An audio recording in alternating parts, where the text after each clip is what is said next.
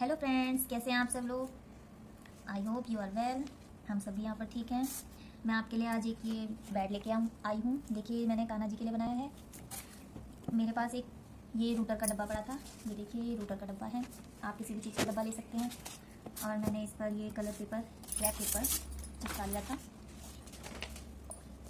और ये देखिए, मैंने इस पर ये ये थर्माकोल सीट से थर्माकोल शीट से मैंने इसकी किराना बनाने के लिए ये कटिंग करी थी और ये पैरों की तरफ़ की साइड है और ये मैंने इसके ऊपर फिर स्क्रैप पेपर लगाया, उसके बाद मैंने इसको सजा दिया अच्छे से। ये मेरे पास लेस थी सूट पर जो लगाते हैं नॉर्मली ये लेस मैंने इसको डेकोरेट करने के लिए यहाँ इस तरीके से लगा दी और ये मेरे पास स्टोन थी। और ये स्टोन मैंने इस पर यहाँ पे ग्लूगन से चिपका दी, क्योंकि वैसे अगर आप इसको चिपकाएँगे फेविकोल वगैरह से ही निकल सकते हैं। लेकिन मैंने इसको ग्लूगन से चिपका दिया है। और ये देखिए मैंने इसको यहाँ पर भी डेकोरेट कर दिया है। यहाँ पर भी मैंने ये वाली लेस लगा दी है। और ये मेरे पास, ये देखिए, ये इस तरीके के आते हैं ये। और ये ऐसे लंबी लड़ी निकल जाती है। इसको आप ऐसे करके पूरा चिपका सकते हैं। ये मैंने यहाँ पर लगाए थे। और ये जो ये वाले हैं, ये मेरे पास कलर वाली लड़ी थी। ये मैंने कलर के छोटे छोटे पीस करके यहाँ लगा दिया। और ये मेरे पास एक लेस और थी। ये मैंने यहाँ पर लगा दी इसको ऐसे। ठीक है? ये देखिए, मैंने ये तैयार कर लिया। और ये ब्लू टेप मैंने थोड़ी सी ऐसे ही सजाने के लिए लगा दी है दोनों तरफ़। और ये ब्लू टेप मैंने ये वाली इस्तेमाल की है। और ये देखिए मैंने ये कान्हा जी के लिए।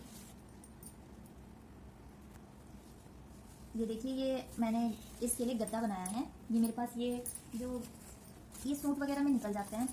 सूट के अंदर, बच्चों के कपड़ों के अंदर, ये बारी बारी गत्ते टाइप से होते हैं ये। ये देखिए, इस टाइप के भी निकल जाते हैं। अगर आपके पास है तो ठीक है, नहीं है तो आप मार्केट से भी ले सकते हैं। मैंने ये वाला इसके अंदर डाला था और डालकर मैंने सबसे पहले कपड़ा सिला। तीन तरफ़ से मैंने उसको सिला, फिर मैंने एक तरफ़ से इसको डाल दिया, उसके बाद मैंने इसको यहाँ से बंद करके फिर इसको सिलाई मार दी, ऐसे, ये देखिए, ये पूरा इसके साथ का बराबर ही है। वैसे तो मैंने नापा ही था, नाप कर पूरा अच्छे से बनाया था। ये ये मैंने एक चादर बनाई थी, ये देखिए, एक चादर मैंने इसके लिए बनाई है। ये देखिए इस पर मैंने ये लेस, मेरे पास एक और तरीके की लेस थी, वो शायद ख़त्म हो गई, वरना मैं आपको दिखाती। ये दूसरे तरीके की लेस है, ये मैंने इस पर चादर पे लगा दी। ठीक है ये मैंने चादर बनाई है और ये मैंने बनाया है तकिया। ये है। इसमें भी मैंने यही वाली फॉर्म डाल दी है, यही वाली फॉर्म डाल दिया और ये मैंने किनारे पे गोल तकिए रखने के लिए बनाया है, गोल तकिए। इनके अंदर मैंने ये वाली रुई ये मेरे पास रखी हुई थी और ये मैंने इसके अंदर डाल दी। ठीक है? और एक चीज़ और, ये मैंने अपने खाना जी के लिए रज़ाई बनाई है। इसको भी मैंने इसे, जैसे मैंने गद्दा बनाया था ना तो मैंने गद्दे की तरह ही मैंने ये रज़ाई भी बनाई है। ये इसको मैंने पहले तीन तरफ़ से सिल लिया था, फिर इसके अंदर मैंने यही वाली फॉर्म यही वाली फॉर्म मैंने इस्तेमाल की है।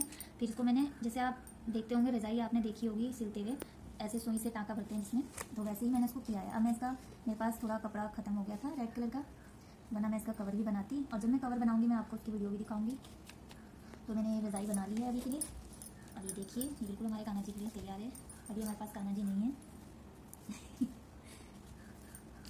तो ये हमने तैयार कर लिया अपने कान्हा जी का पूरा बेड आप लोगों को ये वीडियो कैसी लगी, आप हमें बताइएगा। और प्लीज़ इस वीडियो को लाइक कीजिए सब्सक्राइब कीजिए। धन्यवाद।